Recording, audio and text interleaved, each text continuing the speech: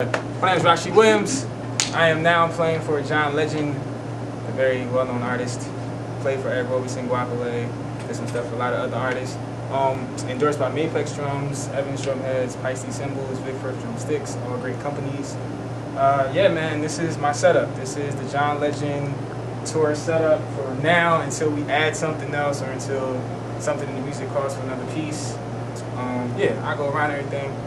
Starting from the far left, we have electronic drum module, um, the TD20, excellent, comes packed with sounds. Typically, everything that's in there you'll use in some form or fashion. Um, so that's the preset board. That has all the stuff, all the 808 snares, the 808 kicks, the 909 snares, 909 kicks, everything that we'll need for stuff like that.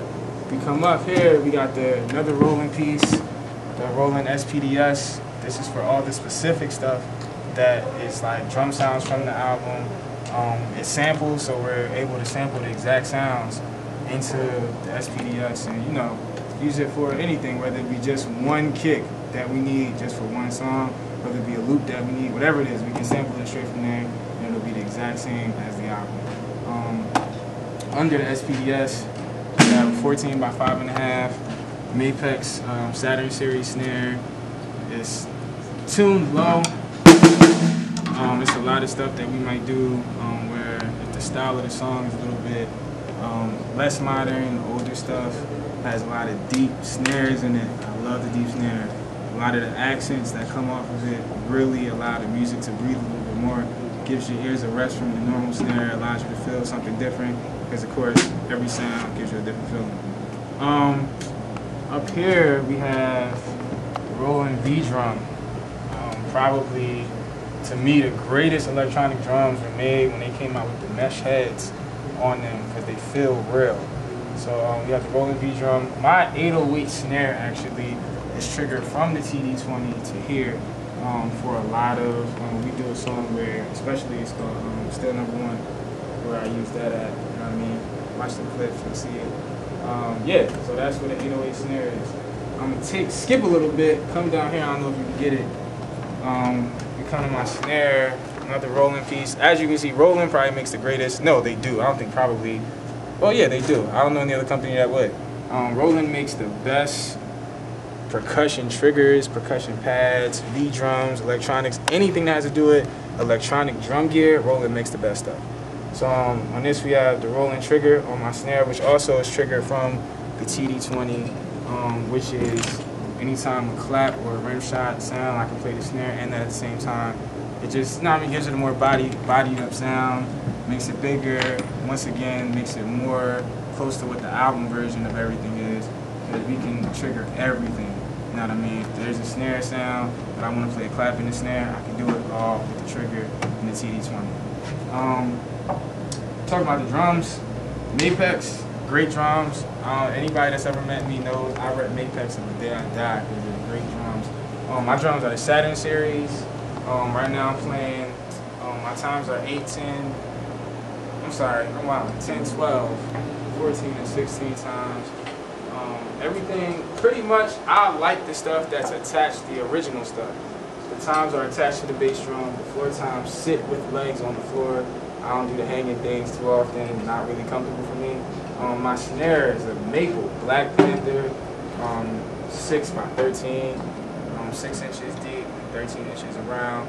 Um, like I said, Black Panther, another product of Mapex Drums, they make the greatest snares, the most durable snares. It's not too heavy, you know, heavy stuff you want to carry it around, all that. They're perfect for shows like this because they can kind of give you that mid-range sound that you're looking for. Instead of having just a pitchy, kind of gives you that mid-range and still you got that crack on it so that it cuts through everything. So um, yeah, that's the drums. Like I said, the Saturn Series drums, um, if you ever get a chance to check them out, they're maple and walnut are the shells, so it kind of gives the toms more full sound. Um, my heads are all Evans, of course. Um, on my deep snare, I'm using the Power um, reverse tenor dot joint. It's crazy. Like if you ever get a chance to check it out, check out the Power center reverse dot snare head coated. Um, on my primary snare, I'm using the G2 coated. All my toms are um, EC2s, clear EC2s, two ply heads, so it gives you that more full sound. My kick is the EMAD, of course. Everybody knows about the EMAD. No need to really go into it. It's a great kick head. Um, yeah, so that's the drum aspect. Cymbals. A lot of stuff going on with cymbals. Everybody wants to talk about all these companies. I'm Paiste. Probably won't ever go. I don't have the need to go anywhere else. Starting from the far left, um, pretty much Paiste has a lot of different lines. Their cymbals are more known to be bright, but if you pick the right stuff and really check out their full line of cymbals, you'll find the warmth that you're looking for, and you'll still find the cut that you're looking for. So starting with far left is a 16-inch signature reflector. Really bright sound, it cuts.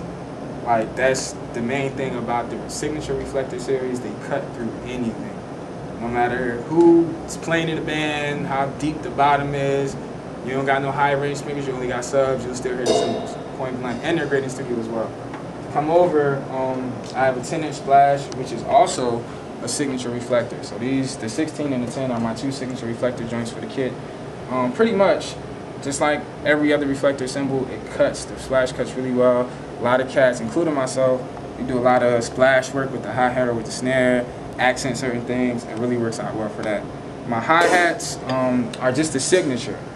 Um, another line of Paiste, uh, 13 inch heavy hats. They're crisp. Um, it's funny, you was listening back to a recording earlier, a rehearsal. The hi-hats are the crispiest hi-hats I've ever played. And I play a lot of different stuff, of course. Um, we go to crash-wise. Um, probably my favorite crash on my kit right now, um, which is the traditional 17 inch thin crash. It's bright, it cuts, and it still is a great wash. If you need to do like swells and things of that nature definitely i'm right here for all of that. Um, and if you really notice it's really my setup is more or less where the cymbals that have the tone that goes across more songs i use you know closer to me opposed to having a 16 that's a little more bright.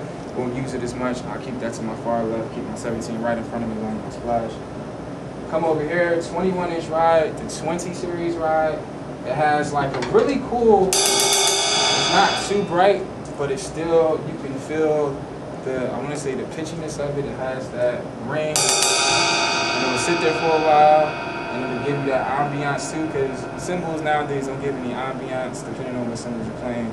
But I feel like ambiance is important. Um, yep, and that's the ride, 21 inches. If we come up, I have the 18 inch, also the 20 series, 18 inch crash, which is really more of a warm sound. It's not as bright as the rest.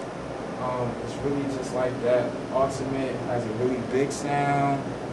Just anything that has to be, we go into a rock feel, this is the for it. It really, really, really does a great job with giving warmth and cut throughout the music. Um, we come down here, 16 inch signature China. Course, China's auxiliary cymbals. It works out great for the auxiliary stuff. Great for it just little accents and hits. That shine is right there. It cuts. You can feel it. It really, really, really, really, really plays a huge part in the setup. And You come right above that, which is the last cymbal in my setup right now, so we add something. Um, 17 inch, 20 series flash. I'll say it's amazing. You go to some companies 18 sound just like the 17s. You almost have to go down a few more inches before you hear a difference. You can tell the difference. Hopefully we can the camera. The 18, like I said, warm but still cuts the 17. Once again, a little bit more bright. It's still warm though, a little more bright, but it still cuts through everything. Great for recording, great for shows, especially R&B shows. Overall, that's my full setup right now. I think the main thing I want any cat to take from all of this is that you just got to get what you need for the gig you're on. This is an excellent gig. I think along with the musicians that I'm playing with, the idea is to get what accommodates the gig the best. Right now, a lot of people didn't think that Paiste would be cool for R&B or for pop or for hip hop. They work perfectly. You just got to pick the right stuff. And like I said, Roland, all electronics are the greatest. And yeah, man, like that's my setup. That's what I'm playing. Check me out, YouTube, MySpace, all of that. Hit me up. Mapex, Vic Firth, Evans, Paiste. Yeah, Roland. Yeah.